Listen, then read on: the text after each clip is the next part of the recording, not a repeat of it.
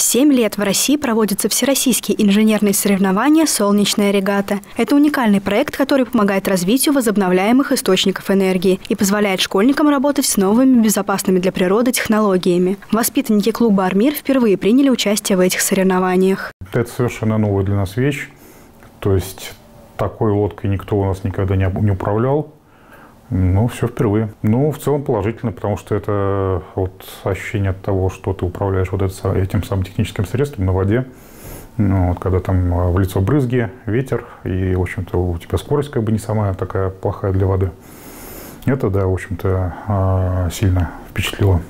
Регата состояла из трех этапов. Спринт на дистанции 1 километр, слалом на той же дистанции и стайерская гонка на максимальное пройденное расстояние за 3 часа. На первом этапе у саровчан возникли трудности.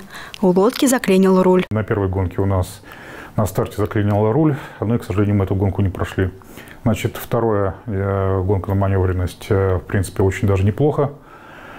А, без касания буйков, но по времени, к сожалению, в первую пятерку не вошли. Ну и, наконец, в гонке на выносливость наша лодка прошла дистанцию полностью. Сложнее всего было собрать лодку. Каждой команде участников прислали большой тяжелый ящик с готовыми элементами конструкции и минимальной инструкцией. Детали под нужный размер ребятам пришлось подгонять самостоятельно. Детали, которые шли в, э, в комплекте, не подходили, их приходилось дорабатывать.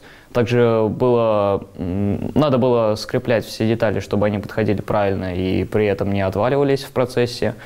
И самое главное, чтобы все было э, ровненько и хорошо закреплено. По итогам всех этапов саровчане заняли третье место. Екатерина Шмакова, Константин Островский, Александр Мальков. Служба новостей Саров 24.